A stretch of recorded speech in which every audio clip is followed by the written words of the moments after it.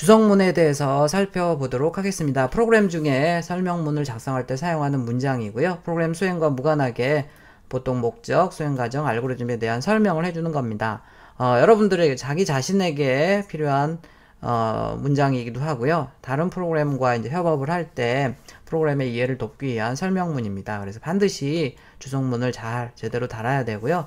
이 주석문은 컴파일러가 무시하는 부분이에요. 두 가지 방법이 있습니다. 슬래시 별표, 별표 슬래시로 하게 되면 여러 줄을, 여긴 두 줄이네. 여기서부터 여기까지가 다 주석문이 돼서 컴파일러가 이 부분을 다 무시해요. 여러분들이 여기다 뭐라고 써놔도 관계없습니다. 문법에 안 맞아도 전혀 관계없고요.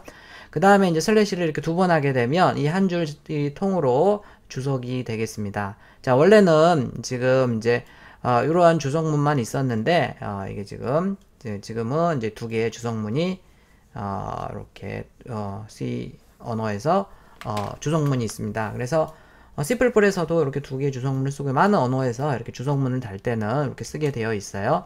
자, 주석문은 보통 간단한 데서는 이렇게 과도하게 주석문을 달지는 않지만 제가 설명을 위해서 여기서부터 여기까지가 이제 주석이 달려 있죠. 그래서 처음에는 이제 파일 이름과 작성한 사람, 연습, 뭐 작성일을 언제 다 이런 것들을 보면 소스를 보는 사람들이 아 어, 여기 어떤 사람이 언제 뭐 하기 위해서 작성한 프로그램이구나 이런 걸 알 수가 있겠죠.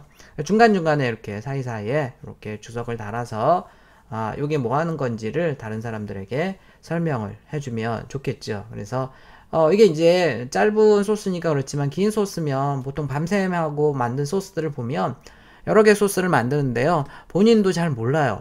주석을 달아놓지 않으면 이런 소스들이 어떻게 차이가 나는지 잘 모르고 이러거든요. 그래서 본인을 위해서도 적절하게 이제 주석을 이렇게 달아주는 게 좋습니다.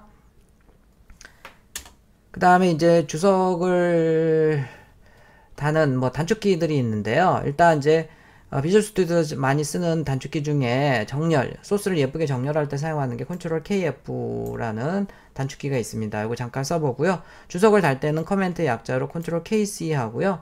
어, 이제 KU undo로 하게 되면 주석을 해제할 수가 있습니다. 자, 그 다음에 전체 줄을 잡아서 어, control KC를 하게 되면요.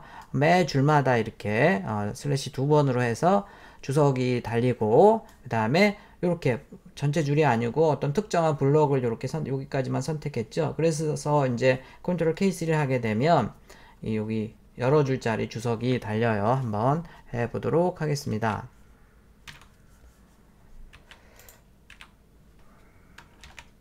자, 일단 이 소스를 가지고 할까요? 음.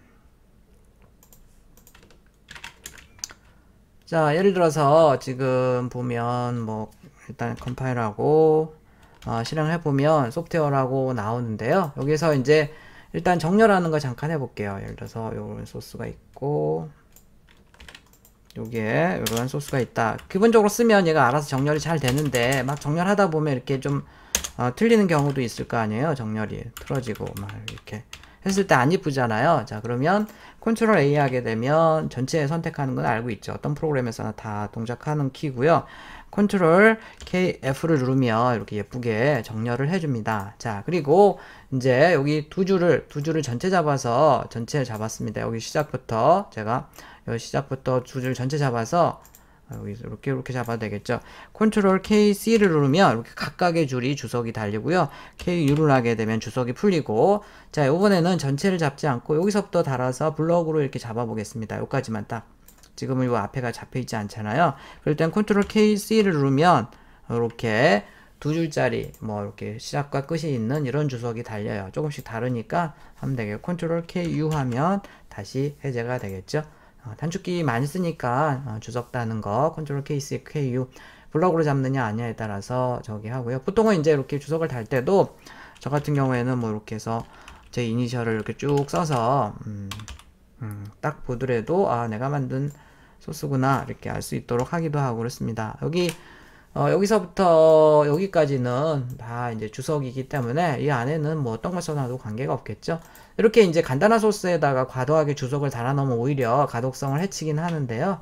어, 이제 초보자들은 되도록 처음에는 많은 주석을 달아서 자기에게도 도움이 되고 같이 협업하는 팀원들에게도 도움이 되도록 이렇게 작성을 뭐 좀 꼼꼼하게 주석을 달아 놓는 게 좋겠습니다. 자, 그렇고요.